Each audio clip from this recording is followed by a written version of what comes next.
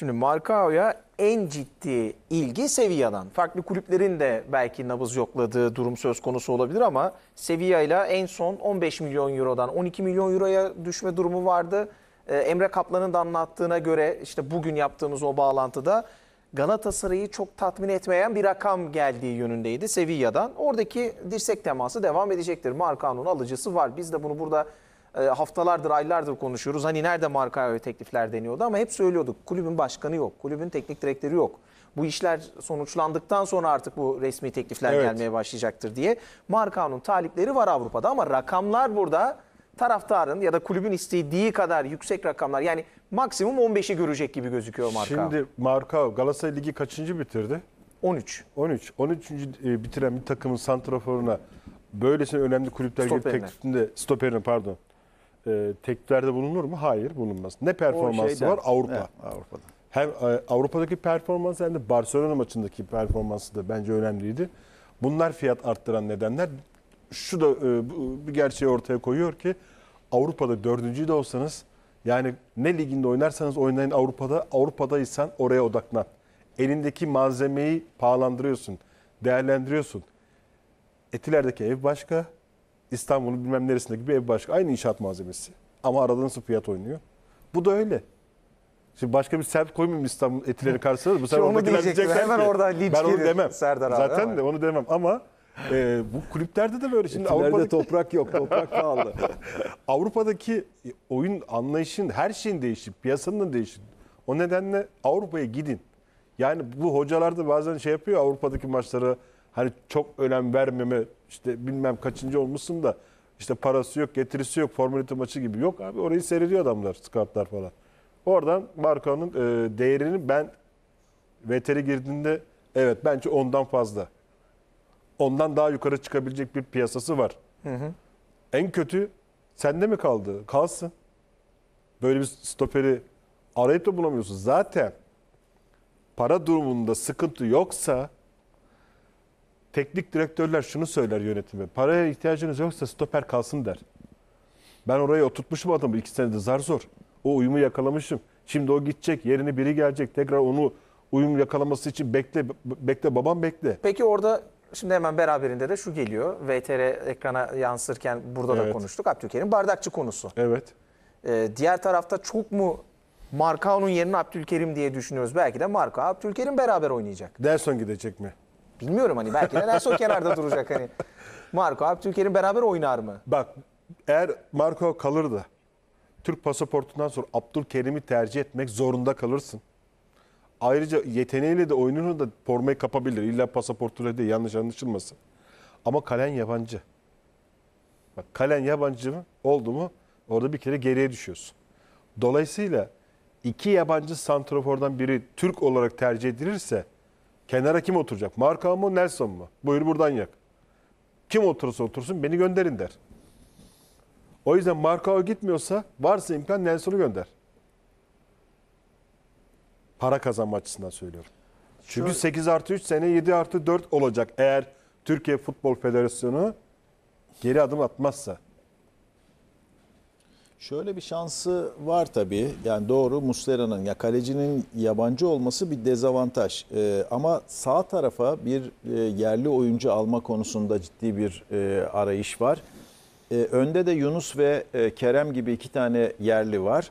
Evet çok sıkıntı var ama şunu da unutmamak lazım. Emre Akbaba'nın dönüşünü, Berkan Taylan, e, Emre Akbaba'dan birinin oynayabilme durumunun söz konusu olabileceğini de unutmamak lazım. Dolayısıyla hani evet Fenerbahçe kadar e, bir yerli e, alternatifi yok ama netice itibariyle Galatasaray'da da şimdi bir yerli alternatifi oldu. Yani şöyle bir şey var. Kazımcan Karataş geldi mesela. Diyelim kısa sürede takıma e, uyum sağlayabilirse zaman zaman Kazımcan Karataş'ı da kullanabilir. Yani e, o şans var. Ama yani şu denklemden kurtulmamız lazım. Bu denklem yanlış. Anlatıyoruz yani bak ben kulüp e, temsilcisi falan değilim. Ben bir yorumcu olarak söylüyorum. Böyle bir denklem olmaz. Oyuncu hadi kimi al? Al bakalım Kerem'i kes. Al bir oyuncu Kerem'i kes. Kesebilecek misin? Kesemezsin.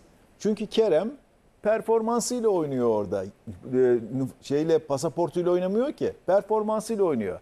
Hadi kes bakalım. E kesemiyorsun. Yani Hadi Altay'ı kes, e, Uğurcan'ı kes, e, Ersin'i kes. Ya da işte e, gelelim e, Umut Nayır'ın önünde Rıdvan vardı. Rıdvan'ı kes. Ya da- ya Abdülkerim'i kes. Diyelim yani, Rıd- Rıdvan sene e, de Beşiktaş'taki Ha, olma ne ihtimali var. E ne oldu yani şimdi işte bak bunu söylüyorum. Pasaport oynamıyor. Oyuncunun performansı oynuyor. Onun için de e, bu olaydan kurtulmamız Ama diyorlar ki o kuraldan dolayı bu oyuncuları oynatmak zorunda kaldılar diyorlar.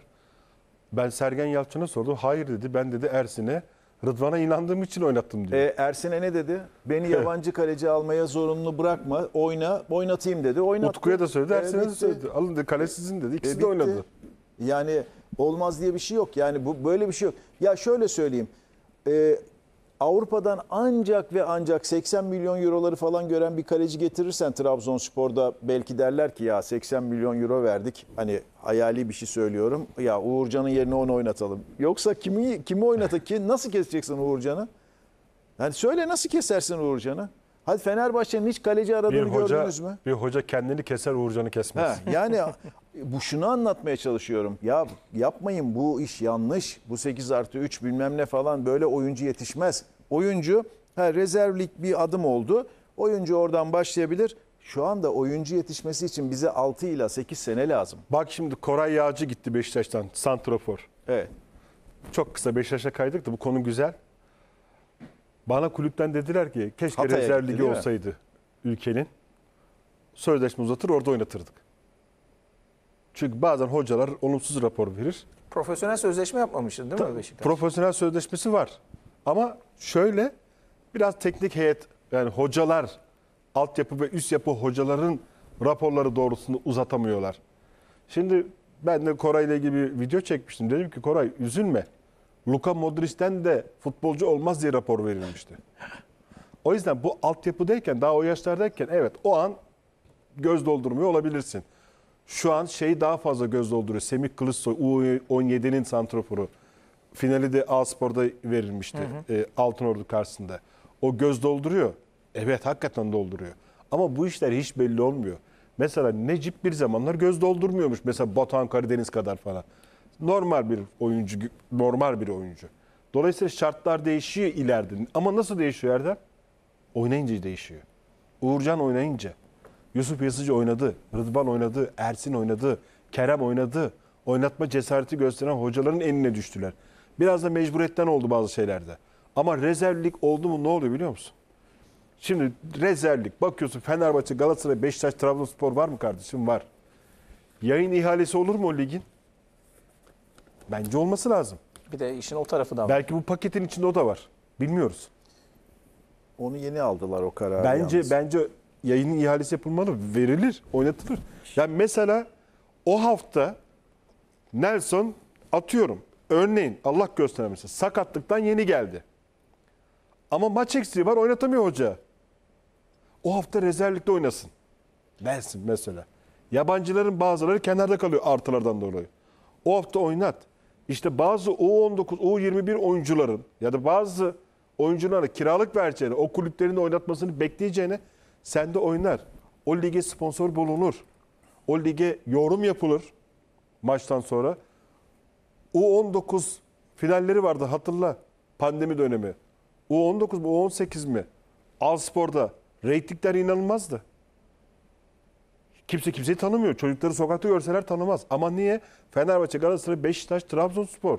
O etiketle çıktıkları için inanılmaz bir reyting oldu. Bir de daha saf halleri. Çok seyrettik hepimiz o maçları.